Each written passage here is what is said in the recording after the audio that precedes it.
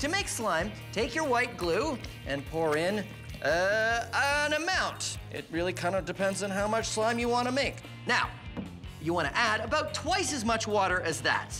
Uh, yeah, somewhere around there. Great. Now we want to put in just a little bit of soap. Mhm, Maybe there, that's good. And you want to put in your food coloring.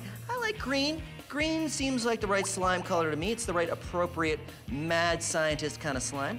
And then you want to start mixing that up till you get the right kind of consistency. That means make sure the glue and the water are equally mixed up.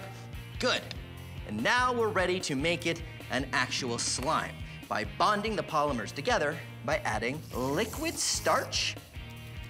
Hmm, very good. And you want to mix it up.